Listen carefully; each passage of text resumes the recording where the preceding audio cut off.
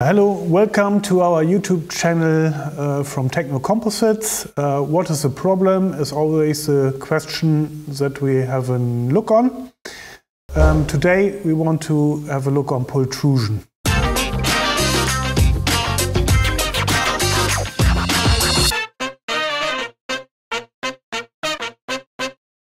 Pultrusion is the item today. Um, we from Techno Composites uh, make solutions uh, that customers can use based on glass fiber products.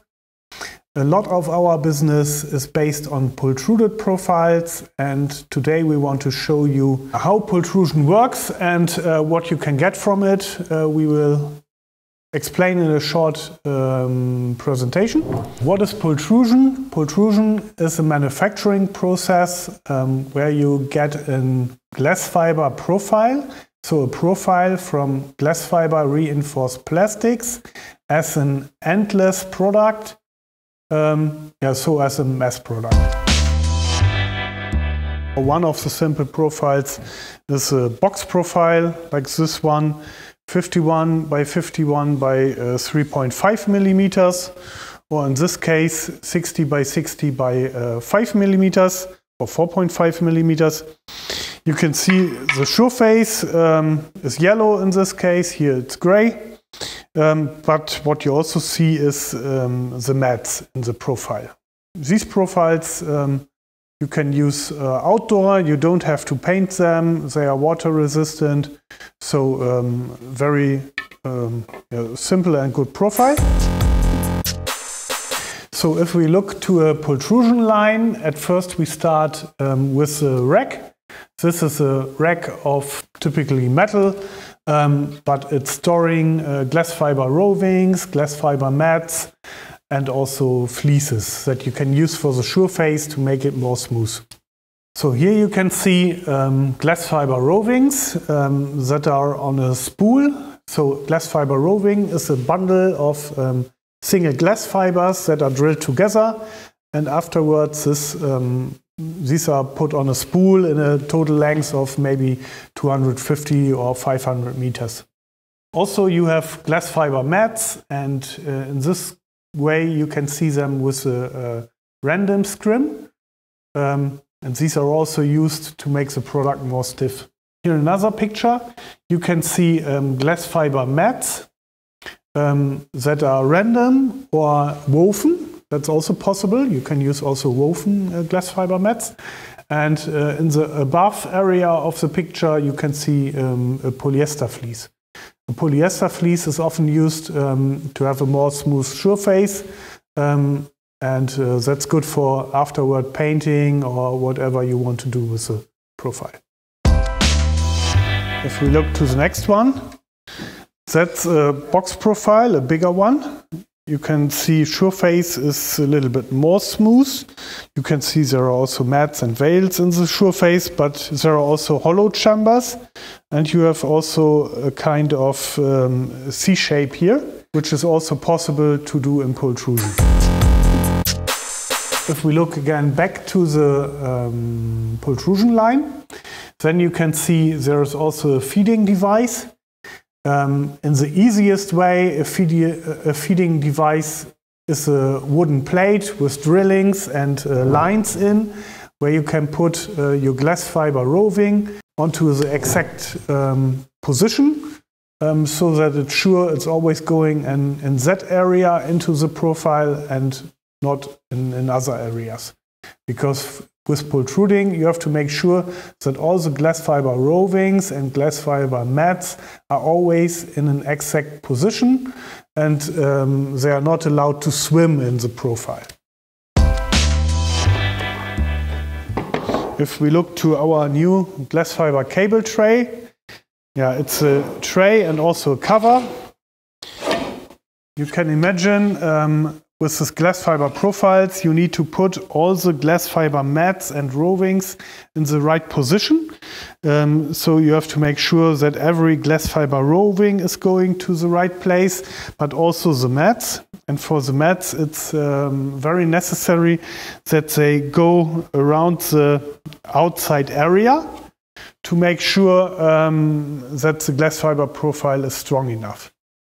If you look to the channel itself, with uh, some hollow chambers. So we have here one, two, three, four, five, six, seven hollow chambers and a complicated shape. In that case, it's very complex to manage uh, the positioning of all the glass fiber rovings, um, the glass fiber mats, and also the veils. Next one is the bath with resin. All the glass fiber rovings, glass fiber mats, and all the fleeces, um, they dive in the bath with the resin, and afterwards, resin is on the glass fiber, and you can go into the next step. And the next step is the glass fiber tooling then. So the, the wet glass fiber rovings, mats and fleece go in a wet way into the pultrusion die. The pultrusion die is heated and it's pulled through the tooling. And uh, in the tooling, under heat, uh, it's curing out. So if the glass fiber profile comes out of the tooling, um, it has its normal shape. Um, it's curing uh, a little bit afterwards, but um, yeah, you can see the, um, the right profiles that you will hold in your hands. Here you can see what is also possible in pultrusion. It's a profile with a width of more than uh, one meter and it's completely um, pultruded. Um, yeah, also with this um, special shapes here in this side areas of the glass fiber profile. The next device is that which gave the name for pultrusion. It's a pulling device. You can imagine if you have glass fibers and uh, you have no chance to press them through a tooling, you have to pull them through a tooling. And that's the reason why the name is pultrusion. So this unit um, grips the glass fiber profile and pulls it out of the tooling. And here you can see uh, yeah, a very big profile for windows and doors. Um, it's also a complete glass fiber profile with a wall thickness of, um, yeah, in some areas I would say um, 10 millimeters, and the smaller areas are you know, something around 6 millimeters. Um, but it's a yeah, very massive glass fiber profile with also hollow chambers and also special areas here with uh, special details. We CNC machined um, these profiles for the Deichmanske Bibliothek in Oslo, the new one, um, and it's uh, used in the glass fiber facade for uh, the windows. And um, yeah, this is only very short part of the glass fiber profile that we CNC machined. The typical length was something between four and six meters, uh, depending on uh, where it's used in the building.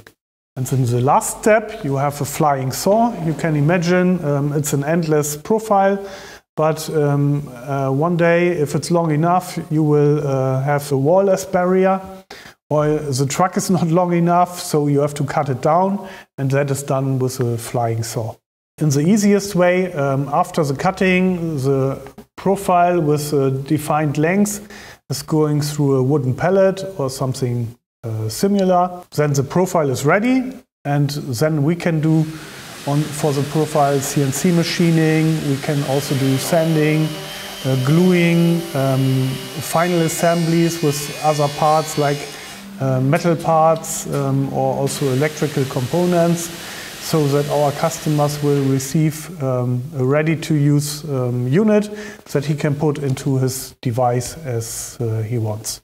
So um, glass fiber profiles are used in different industries like um, buses, trains, trams, uh, but also chemical industry, um, in electrical industry, uh, building construction, infrastructure. So we have different customers where glass fiber profiles are used for. If you have special needs to your glass fiber profile, we can um, yeah, check these items and uh, provide you a tailor-made solution. If you have uh, questions to Pultrusion or to our products, yeah, have a look to our website. Uh, feel free to um, do some comments under uh, the videos. We will answer very fast. Also, um, we like likes. and it would be nice if you can give us a feedback if we should do more English videos in future or not.